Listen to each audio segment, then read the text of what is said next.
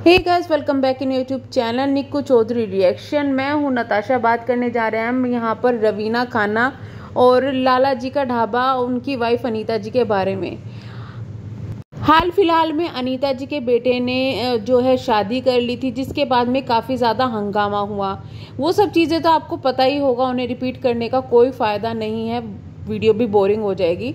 तो अभी क्या हो रहा है कि लगातार लोग रवीना को और जो उनके हस्बैंड हैं, ललित को टारगेट कर रहे हैं। टारगेट किन चीज़ पर हो रहा है कि भाई इन लोगों ने जो है शादी की, यानी कि कोर्ट मैरिज की। उसके बाद में जो अनीता जी हैं, उनसे बात छिपाई और अब अनीता जी के पास में ये जाकर नहीं रहते। लोग इनको बार बार इस चीज़ के लिए टॉर्चर कर रहे हैं और गलत बोल रहे हैं। जैसे कि अगर हम रवीना की बात करें तो रवीना एक ऐसी फैमिली से आती हैं जहाँ पे लोग वेजिटेरियन है, पूजा पाठ बहुत ज़्यादा करने वाले हैं। वहीं पर ललित बिल्कुल अपोजिट फैमिली से आता है।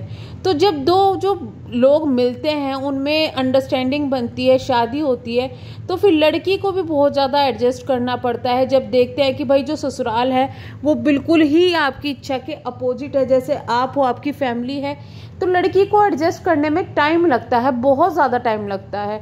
वहीं पे कुछ लोगों की जो फैमिली होती है ना, यानी लड़के की फैमिली, उसको भी टाइम लगता है एडजस्ट करने में। देखिए, जब कोई लड़की घर में आएगी तो लड़के वाले ये सोचते हैं मोस्टली कि भाई लड़की ही एडजस्ट करे। लेकिन अगर दोनों तरफ़ से एडजस्टमेंट हो, बातें तभी चल सकती है। लेकिन यहाँ पर क्या हो रहा है कि लोग सिर्फ़ और सिर्फ़ जो रवीना है, उनको टारगेट किए जा रहा है, ना कि बिल्कुल सच्चाई जाने बिना जैसे कि लोगों ने कमेंट किए हैं, वो इनके कमेंट सेक्शन पर।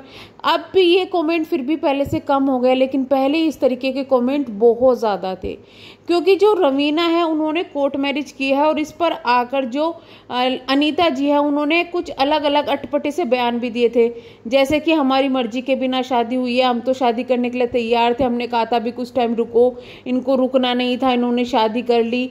बहुत सारी चीज़ें बोली, जिसकी वजह से लोगों ने रवीना को टारगेट करना शुरू कर दिया। उसके बाद इतना ही नहीं, कभी भी ये चीज़ फैमिली के द्वारा नहीं बोली गई, अनिता जी या किसी के द्वारा, कि भाई रवीना हमारे साथ में आके मुंबई रही थी। बल्कि उनका स्टेटमेंट बिल्कुल अलग था। उनका स्टेटमेंट ये था कि हमें तो अभी कुछ दिनों पहले ही पता चला कि रवीना से शादी कर लिया हमें पता ही नहीं था। बल्कि सच्चाई ये है कि जो मुंबई वाली जो चीज़ हुई थी, वो काफ़ी टाइम पहले इनके पता होने से भी काफ़ी टाइम पहले हो चुकी थी। रवीना जो है, वो इन लोगों के साथ मुंबई गई थी। जब ये किसी शो की शूटिंग के दौरान गए थे, वहाँ रवीना को दिखाया नहीं गया किसी भी वीडियो में, किसी भी ब्लॉग में, लेकिन रवीना उनके साथ में थी। अब इनके साथ में हो सकता है कि इतने दिन बिताने के बाद में शायद दोनों की ना बनी हो या कुछ भी हुआ हो। ये स्टेटमेंट कभी फैमिली के सामने नहीं आया।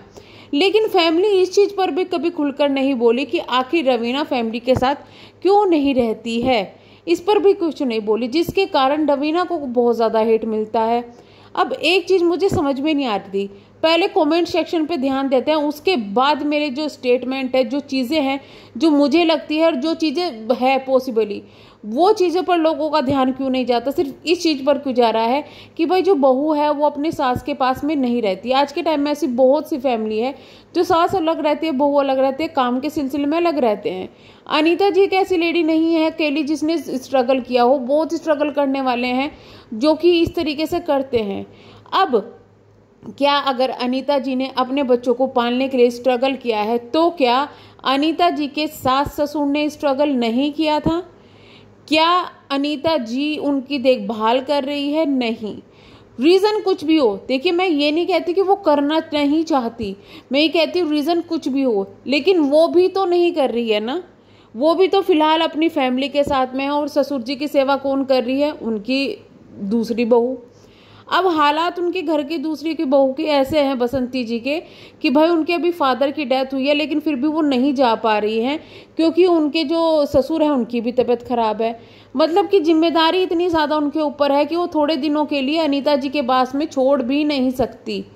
अब रीज़न के बीच में कुछ भी हो, देखिए रीज़न का हमें नहीं पता, हम नहीं जानना चाहते क्योंकि फैमिली मैटर है। जब सामने आएगा, वो चीज़ें खुल के सामने आ जाएगी। लेकिन सच्चाई तो यही है ना।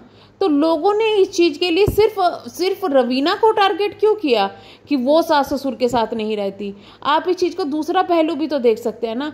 जिस तरीके से हो सकता है कि अनीता के ऊपर कुछ प्रेशर हो कि वो नहीं कर पा रही है अपने ससुर जी का, उसी तरीके से हो सकता है कि भाई रवीना के ऊपर भी कुछ प्रेशर हो कि वो नहीं कर पा रही है वो नहीं जा पा रही है। चीज़ के दो पहलू होते हैं, एक पॉजिटिव नेगेटिव अगर बाई चांस हम ये मान लें कि अनीता जी नहीं करना चाहती अपने सास ससुर का तो उनको लोग गलत बोलेंगे। उसी तरीके से ये भी मान लेंगे कि रवीना नहीं करना चाहती अपने सास ससुर का तो उनको लोग गलत बोलेंगे। तो हो सकता है ना कि कुछ भी पॉसिबिलिटी हो, कि एक तो ये भी हो सकता है कि भाई करना चाहते हैं, लेकिन लोग मौका नहीं दे रहे हैं। दूसरी यह है कि करना ही नहीं चाहते हैं। तब लोगों को सच्चाई ही नहीं पता है कि क्या है। फिर उस बंदी को, उस लड़की को इतना ज़्यादा टारगेट क्यों करना? जो अपनी ज़िंदगी को जी रही है, अभी नई शुरुआत कर रही है, उसको सोशल मीडिया का कुछ नहीं पता था। अभी नया नया आए हैं वो लोग, वो एडजस्ट कर रहे हैं, अपनी फैमिली में एडजस्ट कर रहे हैं। थोड़ा टाइम दो। जो इस तरीके के कॉमेंट्स होते हैं ना, वो इंसान को भड़काने वाले होते हैं सिर्फ़। ये किसी का घर बसाने वाले कॉमेंट्स नहीं होते हैं कि तुम सास ससुर की सेवा नहीं कर सकती तुम वो नहीं कर सकती। ये सिर्फ़ भड़काने वाले होते हैं। जो लोग समझदार होंगे ना, वो यही कहेंगे कि कोई बात नहीं, थोड़ा टाइम लो, सब कुछ सही हो जाएगा। लेकिन यहाँ लोग कैसी कैसी बातें कर रहे हैं, वो आप कमेंट सेक्शन में पढ़ सकते हैं। चाहे कितनी भी भक्ति कर लो, चाहे जितने भगवान की सेवा कर लो, कुछ असर नहीं होगा, कोई फ़ायदा नहीं होगा। जब तक माँ बाप परिवार का साथ प्यार और सेवा नहीं करोगे, भगवान खुद माँ बाप के, का साथ सेवा करने की बात कहते हैं। देखिए, मैं इस बात से एग्री करती हूँ, भगवान भी यही चाहते हैं। लेकिन क्या सच्चाई किसी को पता है? कमेंट करने वालों को पता है कि भगवान तो चाहते हैं क्या पता रवीना भी चाहती हो, लेकिन जिनकी वो सेवा करना चाहती है, वो ही नहीं चाहते हो। उनको भी थोड़ा स्पेस चाहिए, उनको भी थोड़ा टाइम चाहिए, वो भी सोच रहे होंगे कि थोड़ा टाइम लग जाए एडजस्ट हो जाए, सब कुछ चीज़ें। तो इन चीज़ों को ना सोचकर सिर्फ़ एक लड़की को टारगेट करना क्या ये सही होगा? और ये भी मैं जानना चाहूँगी कि जो लोग इस तरह की सलाह दे रहे हैं, वो कितने अपने घरों में ये चीज़ें करते हैं, अपने माँ बाप की सेवा करते हैं। अगर उनके हस्बैंड की कहीं बाहर जॉब लग जाए, वो बाहर चले जाए तो क्या इनमें से कितनी महिलाएँ ऐसी है जो हस्बैंड के साथ ना रह के सास ससुर के साथ रहना पसंद करेगी? तो क्या ये अन्याय नहीं होगा? क्योंकि हस्बैंड भी है, वो भी अकेला रहेगा और ये सास ससुर है, वो भी अकेला रहेगा। तो ये है कि आप ज़िंदगी में, दुनिया में हर एक को खुश नहीं कर सकते। उसके लिए तरीके होते हैं जो कि भगवान ने बनाए हुए हैं, जो टाइम ने बनाए हुए हैं, जो आपके परिवार में चलते आए हैं, चलते रहेंगे। यहाँ पर कोई लिखता है माँ बाप झोपड़ी में और मन्नतों से मांगा गया बुढ़ापे का सहारा महलों में दिक्कत है, धिक्कार है। ललित जी के चेहरे पर दुख साफ़ दिखता है। आदमी दुनिया से जीत सकता है, लेकिन अपनी औलाद से हार जाता है। तो इनके लिए एक सवाल, पहले तो झोपड़ी में जो बात कह रहे हैं, देखिए पैसा उनके पास खूब है अच्छा खासा वो कमा रहे हैं। दूसरा बात यह है कि बच्चा हर कोई मन्नतों से मांगा जाता है, उनके पास में अभी बच्चे हैं। तीसरी बात यह है कि उनके चेहरे पर दुख दिखता है तो क्यों वो अपने बेटे को लेने नहीं आए या फिर बेटे को क्यों नहीं समझाते कि तुम हमारे साथ में रहो? क्या चीज़ें कभी सामने आई है कि उन्होंने समझाया और इन लोगों ने मना किया है? नहीं, कभी नहीं आई है सामने तो बिना सब कुछ जाने, बिना कुछ सोचे आई थिंक किसी को जज नहीं करना चाहिए और वही चीज़ यहाँ पर हो रही है कि जजमेंट बहुत हो रहा है और इसीलिए मुझे समझ में नहीं आता कि लोग किसी की ज़िंदगी में इतनी तरीके से कैसे घुस जाते हैं कि जजमेंटल हो जाता है किसी के लिए, किसी को भी बिना मतलब हरेस करते हैं किसी को भी बिना मतलब टॉर्चर करते हैं।